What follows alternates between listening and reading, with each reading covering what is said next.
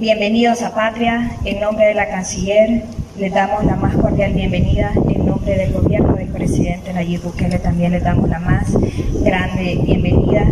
Este es un, este esfuerzo articulado a nivel interinstitucional.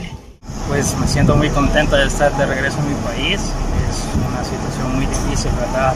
Pasarla en otro país que es el tuyo, ¿verdad? Lejos de tu familia y todo